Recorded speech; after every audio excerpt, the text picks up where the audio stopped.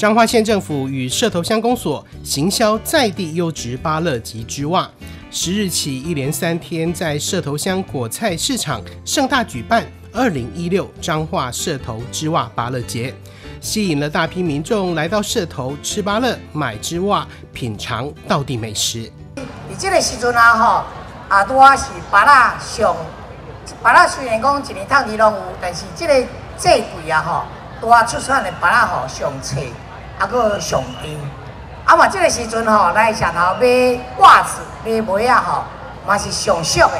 哦，啊咱知影讲，不管是男袜女袜吼，伫咱社头啊，这个市占率全国都是超过啊八成。在驻袜工会来魏理事长。驻袜协会张理事长，啊，这两个算袂一头啦吼，做袂一袂一头家吼，袂一头。啊嘛，感谢这两位理事长啊，对着咱这个活动的帮忙吼。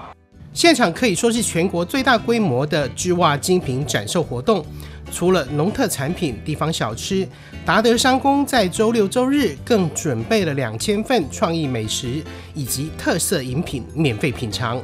还有时尚走秀及地方表演团体接力演出。连续三天的活动热闹滚滚，强力行销社头乡的能见度，让织袜及芭乐产业都能够获得乡亲的青睐及购买，促进地方产业升级。公益频道张华允摄头采访报道。